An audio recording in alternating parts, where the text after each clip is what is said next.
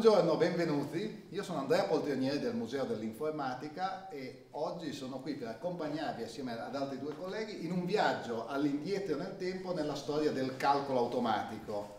Faremo una, presen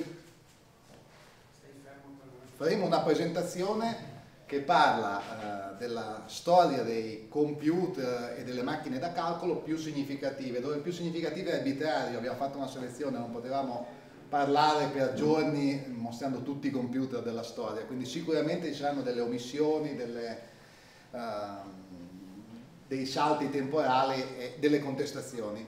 Alla fine ci sarà una sorpresa, ci sarà una calcolatrice che forse è una calcolatrice o forse no. Il titolo di questa presentazione, Leonardo il calcolatore, può farvi intuire di cosa si tratta. Questo sono io, non si legge, qua ci sarebbe una scritta ma lì non si legge, sono Andrea Poltronieri, presidente del Museo dell'Informatica e mi occupo di storia dell'informatica da un bel po' di anni. Io un collezionista e poi ho fatto un salto di qualità cercando di condividere la mia collezione, la mia passione con altre persone.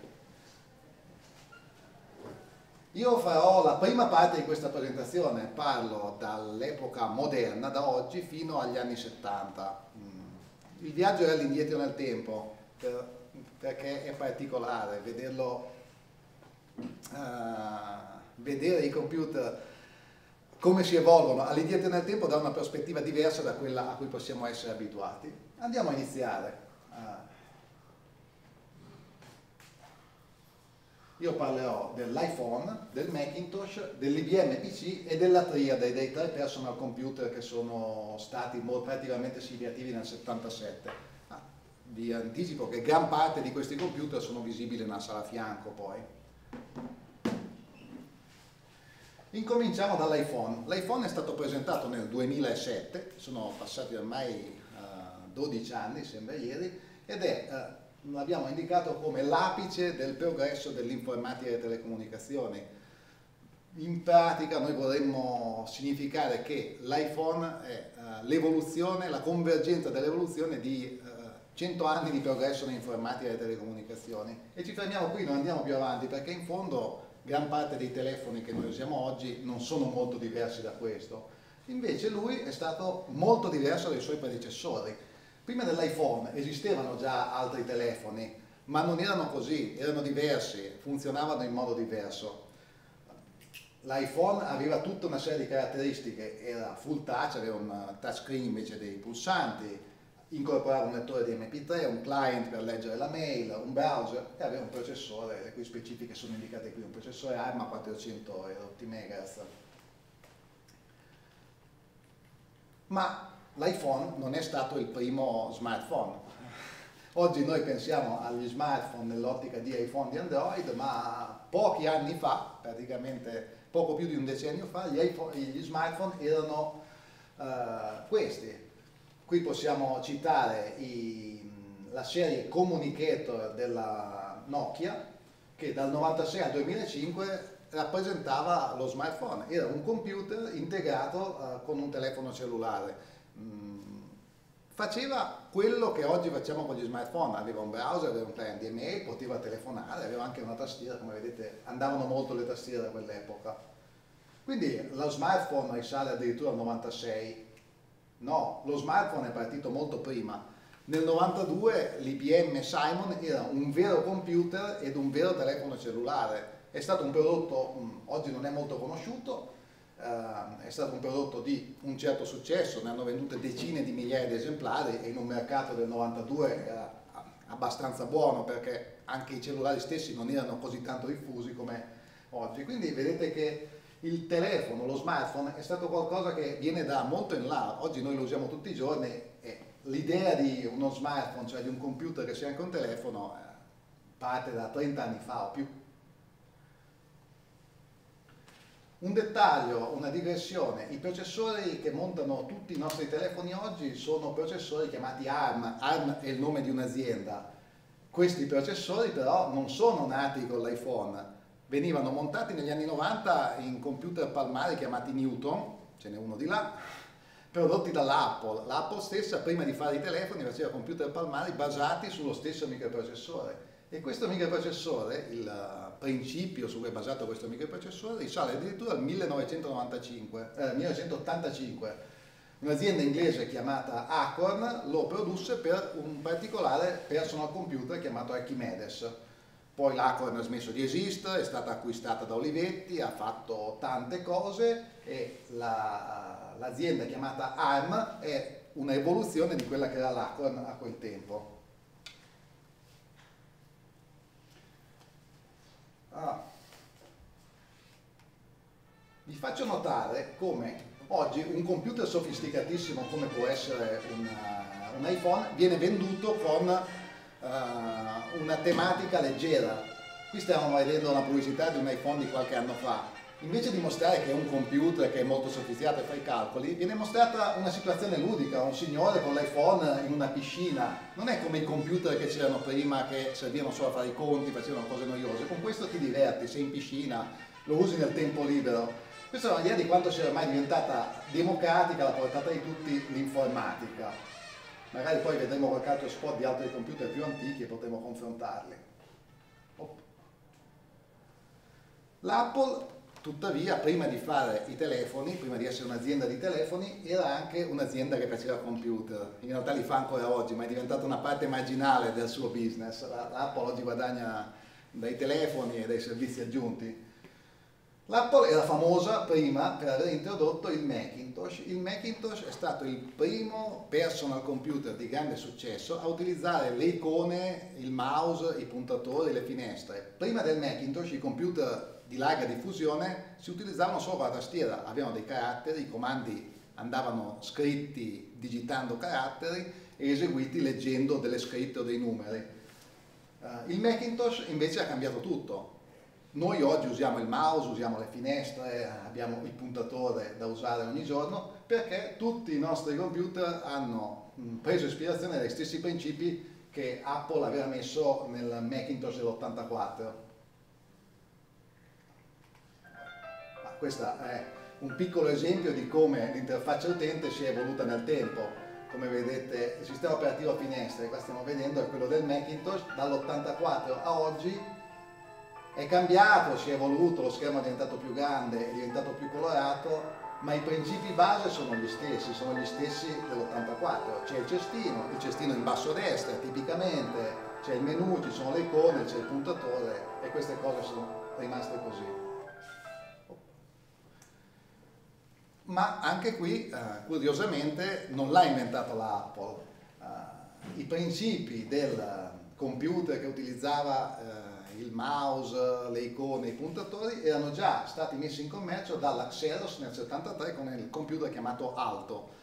Era molto molto costoso, ha avuto una diffusione limitata e la stessa Xerox non credeva molto in questo prodotto, non l'ha mai spinto più di tanto.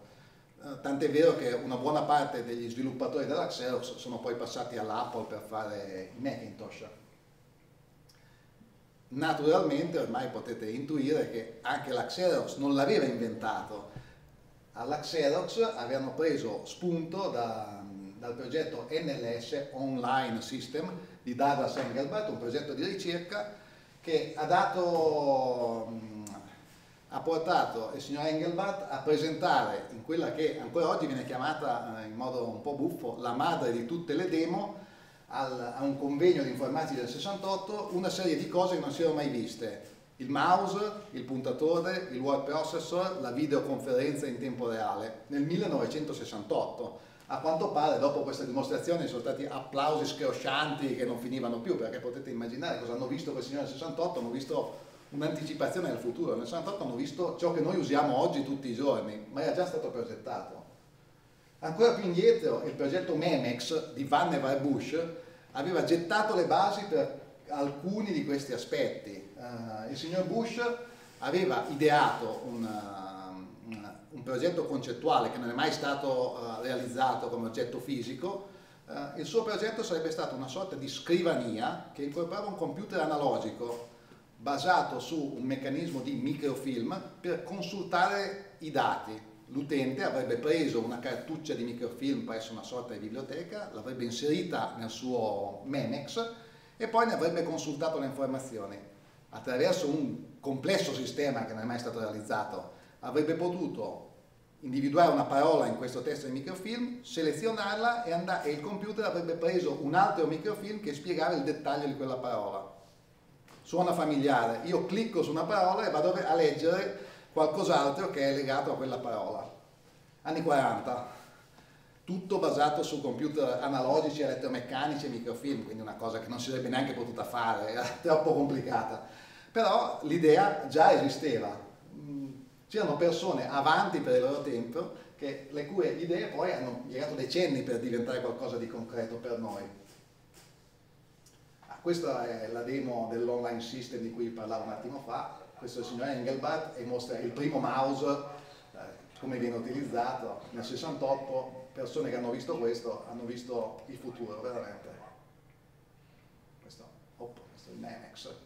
Ah, parlando di pubblicità, vi faccio vedere come eh, negli anni 2000 alla, all'Apple mostravano la pubblicità del Macintosh, il computer di cui parlavo prima, eh, confrontandolo con il PC. Questo signore più allegro, più giovanile, più simpatico rappresenta un Macintosh, invece il signore con gli occhiali eh, meno divertente, più noioso che presenta dei grafici rappresenta il PC. Uno si presenta su un Macintosh o un PC, per dire che il Macintosh è qualcosa di divertente, non è qualcosa di noioso come un PC.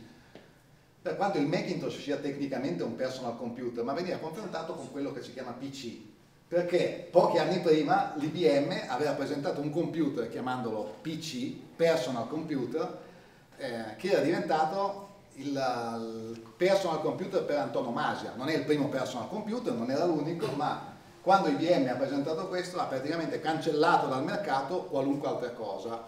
Tutti i computer che noi usiamo sulle nostre, oggi sulle nostre scrivanie, compresi i Macintosh, tecnologicamente derivano dall'architettura di questo computer, che all'epoca non era né particolarmente innovativa né particolarmente sofisticata, ma era facilmente standardizzabile e facilmente riproducibile. È stato un successo così grande che poi ha buttato l'IBM fuori dal mercato dei personal computer perché i concorrenti li facevano meglio e più economici.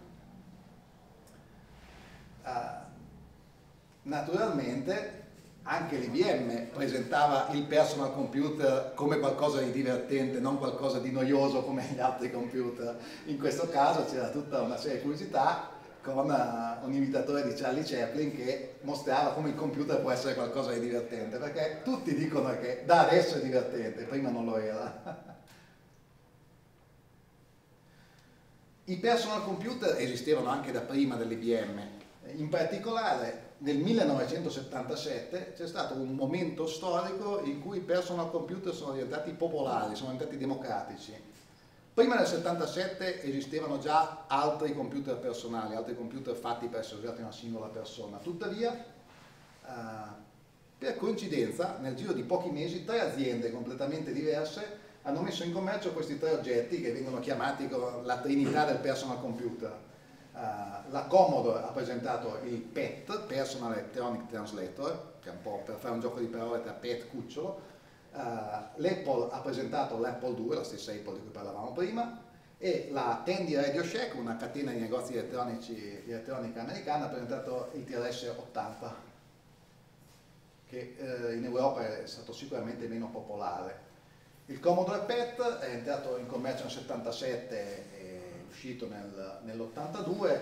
Uh, come vedete aveva un design molto molto particolare, lo potete toccare con mano di là il PET eh, aveva proprio una ricerca di un design, sembra il computer, il classico computer dei film di fantascienza degli anni 70. Se voi guardate un film di fantascienza degli anni 70 in cui hanno un computer, hanno cose con questo design, con questa forma. Eh, qualcuno l'ha anche descritto come a forma di suora. Ho sempre trovato buffa questa immagine. Il TRS-80 invece è stato messo in commercio da un'azienda che faceva elettronica di consumo, televisori, hi-fi, eccetera. Uh, anche questo venduto nella catena dei negozi degli Stati Uniti mh, mm, uh, fino ai primi anni 80. Faccio notare che sia il PET che il TRS-80 condividevano un uh, software chiamato Basic per gestirli, che era fornito da una piccola azienda dell'epoca, come vedete qui c'è un PET un TRS-80, che si chiamava Microsoft e qui abbiamo i due fondatori, anche questo signore l'avrete sentito nominare, eh, questo signore ci ha lasciati l'anno scorso, purtroppo invece eh, l'azienda poi ha cambiato nome ed è diventata anche questa qualcosa di grande, quando erano giovani hanno iniziato con, uh, fornendo il Basic alla Commodore e alla TRS. Il terzo invece è l'Apple II, il computer che ha reso popolare l'Apple. Non è il primo computer dell'Apple, lo si deduce dal nome, il primo computer dell'Apple è l'Apple I, ma che è stata una cosa assolutamente marginale, vendute poche centinaia di copie, l'Apple II invece è stato in commercio fino alla fine degli anni 80 nelle sue varie evoluzioni.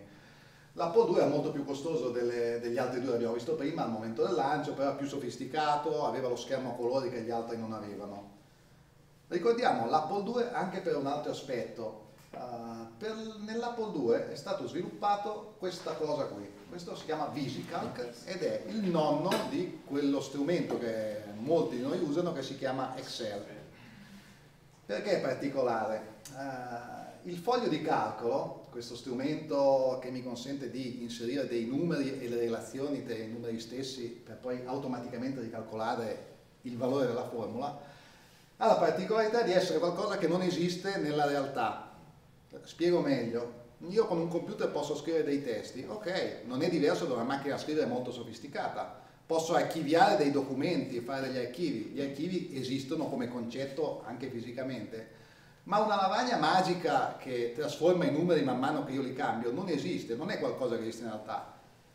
Il foglio di calcolo è un esempio molto calzante di un software che non è una metafora di qualcosa che c'è nella realtà, perché non è un foglio quadretti, è qualcosa di molto diverso.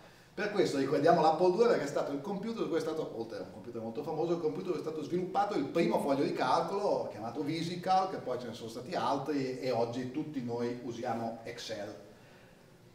E con questo siamo arrivati agli anni 70.